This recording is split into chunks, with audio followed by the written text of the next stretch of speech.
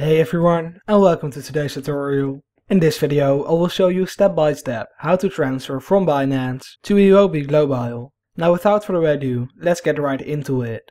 The first thing you need to do is to go over to Binance and log in into your account.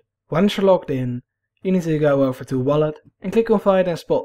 Because as you can see, over on this page, you can deposit and withdraw cryptocurrencies.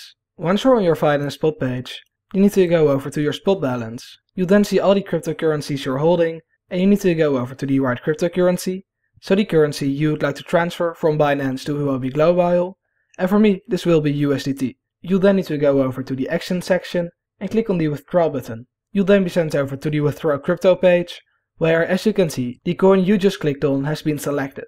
Now if it's not, make sure to click on the coin selector and search for the currency and then select it by clicking on it.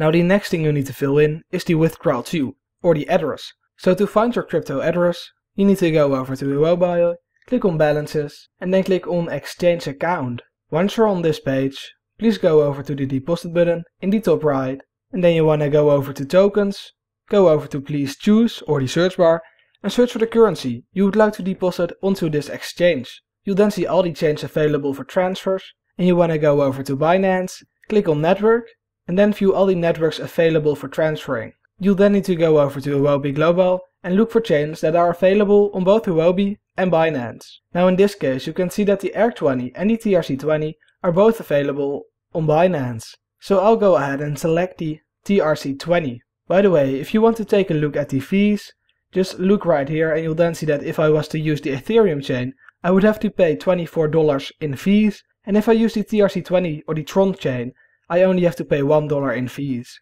Then you want to go over to Huobi, click on the chain you just selected on Binance, then click on send deposit address, click on confirm, and you can then go ahead and copy your address. Once you've done that, please go over to Binance and paste it in.